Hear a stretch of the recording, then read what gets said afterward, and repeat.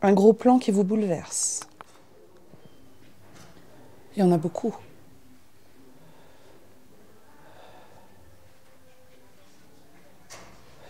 Oh, il y en a beaucoup. Les gros plans de, de Liv Ullmann par, par Bergman.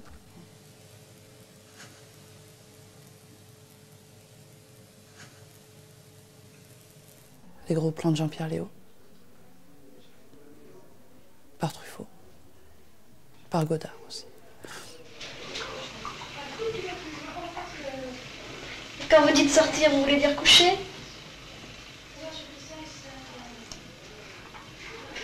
Allez, répondez-moi vraiment.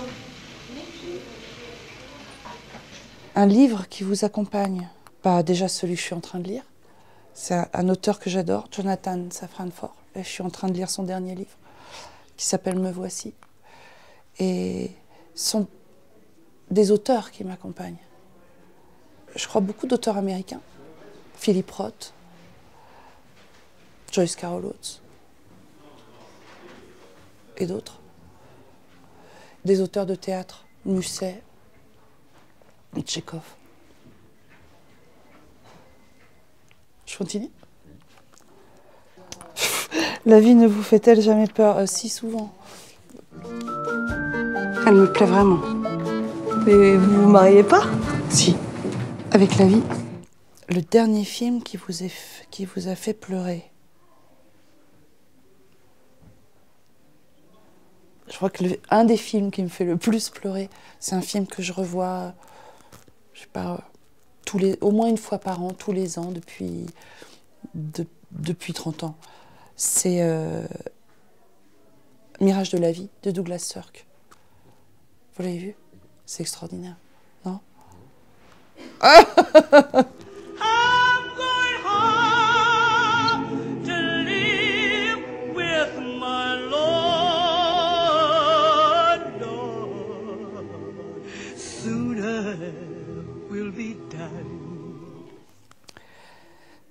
Votre premier émoi au cinéma. Ah, Il y a eu des, il y a eu mes, mes premiers émois de, de, de la toute petite enfance. Je devais avoir, je sais pas, deux ans, trois ans, quatre ans. Et ça, c'était les Marx Brothers, Laurel et Hardy, Chaplin et Keaton.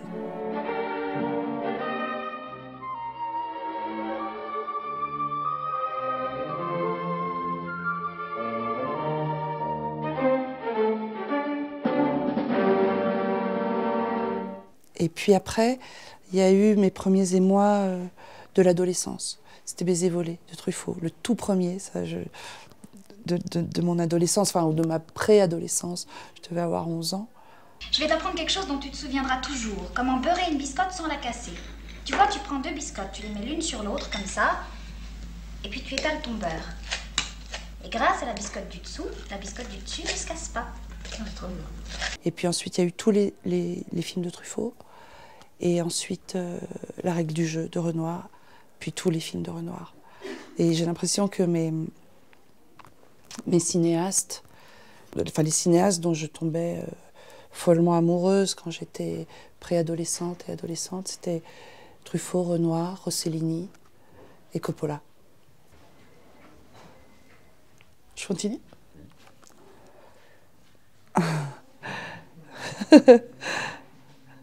Aviez-vous un poster dans votre chambre d'ado? Alors j'en ai eu plusieurs. Et puis un jour, je me suis rendu compte que juste au-dessus de, au-dessus de moi, quand j'étais allongée, il y avait une photo de Truffaut. C'était pas James Dean, c'était pas Marlon Brando, c'était un réalisateur et c'était Truffaut. Et je me mettais du rouge à lèvres et j'embrassais la photo, puis j'embrassais même le mur autour. Que vous a appris Arnaud D.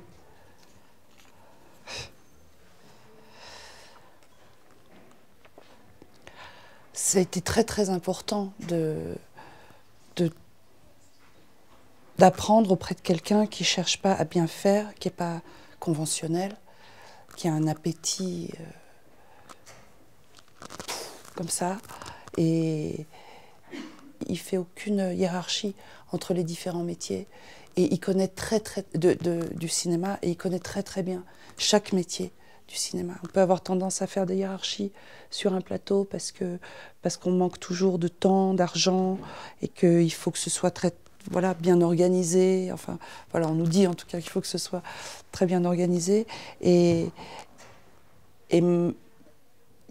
voilà Arnaud, je le voyais ne, jamais tomber dans tiens l'image compte plus que le son ou, la, musique ben, on y pensera après. Et, du coup ça quand on y pense trop trop après ça devient comme de la confiture qu'on rajoute sur une tartine et c'est pas comme ça organique avec le film. Il, il avait un, il a un grand appétit de, tout ce qui fait un film et un grand amour de la fabrication j'ai grandi quoi j'ai grandi avec lui.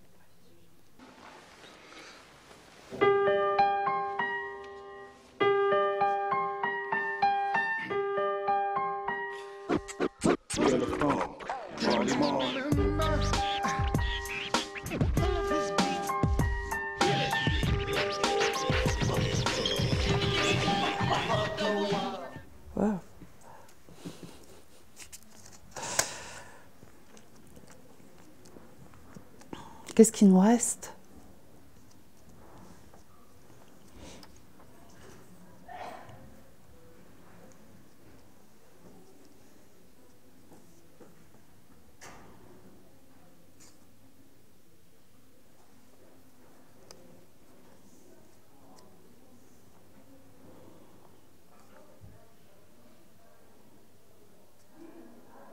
Notre mémoire si on arrive à la préserver.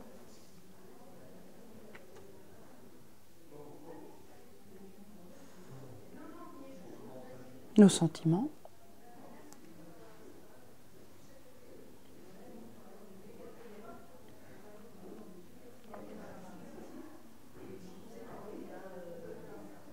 Notre vie.